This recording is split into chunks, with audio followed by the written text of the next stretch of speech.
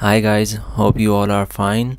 And in this video i'm gonna show you how you can like merge two themes into one or pick different sections that looks awesome into your themes. So for this as you can see this is my brand new store. Uh, I have just created a few seconds ago. So I use Craft theme not the dawn one. So in this theme I'm gonna add a section from another theme and I'm gonna show you how you can do this. So as you can see this is my store. I'm gonna like customize it. First you have to click on the customize button. Then wait for a moment and you can see there is a lot of section. The rich text the collect the featured collection and the custom liquid that I have added into it. I'm gonna show you this one later and now as you can see in the Shopify theme section there are a lot of themes that you can pick. So for me I like already did the coding of one theme so I'm gonna pick that one. So just to not waste your time.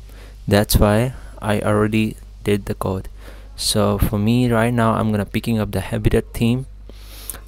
Okay as you can see view demo store. And you can see here there are a lot of sections. Like this one is the first section show by category is the second show by new arrivals is the third and this one is the is the fourth section.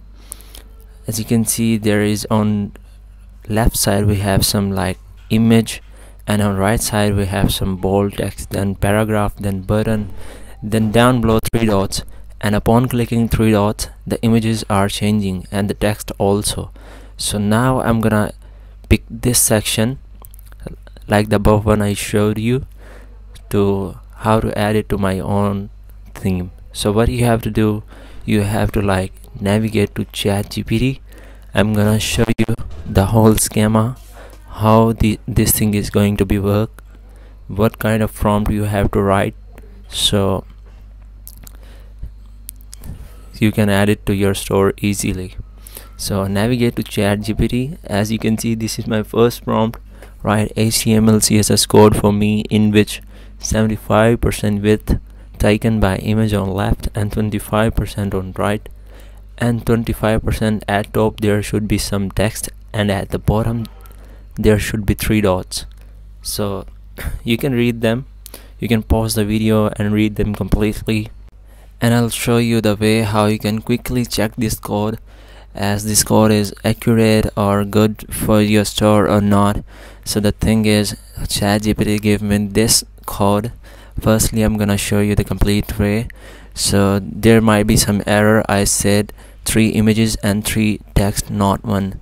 As at the very first result it's gonna be like showing me the one image and one text. So I asked ChatGPT again to like generate the code. So th the next thing was upon clicking on the text the images was changing. So I said again to the ChatGPT to rewrite the code and do some alterations. And this is the final code that I got from ChatGPT and I you can like consider bookmarking this website. The name of this website is w3schools.com you can like search on google chrome w3 schools html compiler.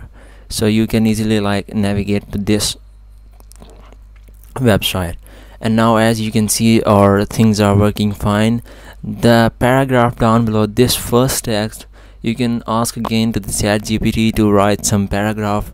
And down below there should be a button uh, like textable button. So you can do such things and here you can see the results.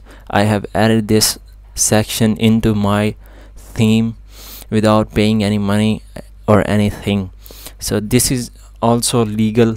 No one gonna like hurt your stores or report your store because you are doing such things on your own by your coding skills. And you can see that it's working fine. And you can even change the images the text the rest of the things easily so select any section you want. Ask ask ChatGPT to create a code for that section. The one thing is explain as much as you can on the ChatGPT so they can give you the best results. And if you want to hire me for your next project here is my fiverr profile. I i just started on fiverr so you can like hire me for your next project. So i'll help you out with such things like adding custom things or creating a new stores or product bulk listing anything you want i can do for you. So the next thing is what you have to do and where you can find the this custom code you have to write applied on google chrome. Scrolls down. This one applied you have to click on it.